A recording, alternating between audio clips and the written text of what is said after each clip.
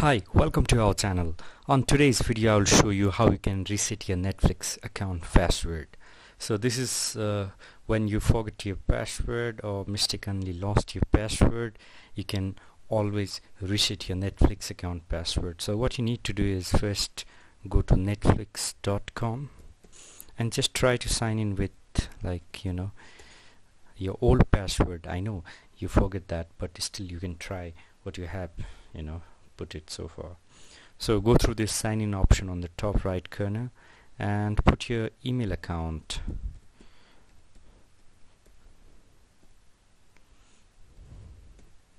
So this is my email account.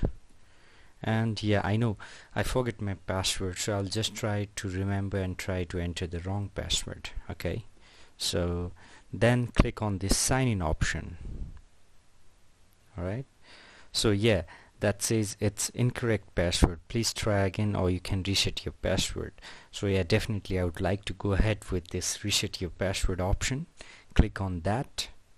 Alright I do have a two different option the first one is email the second one is text message right? So uh, I can get the my password link on email or even I could get the password link on my phone which is via SMS so uh, I need to pick one of these options. So at this point what I need to do is suppose the previous email address that I use for Netflix is loyalazoom at the rate gmail.com right?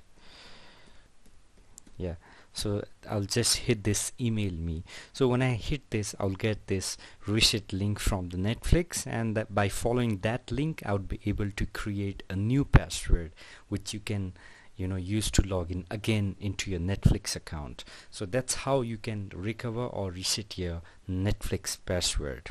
Thank you so much for watching